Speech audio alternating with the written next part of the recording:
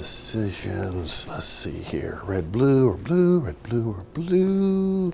Yeah, I'll just go with what I got on. This break from political ads is brought to you by Oh, yeah. CBS 6 problem solver Wayne Covil.